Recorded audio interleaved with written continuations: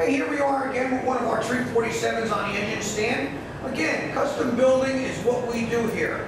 And why I say that is this gentleman shows that he's going to custom paint it himself. So he has us just to prime the engine. So simply, we prime the pan in gray, the block, and the water pump. We use a brand new timing cover. He'll wind up painting that too.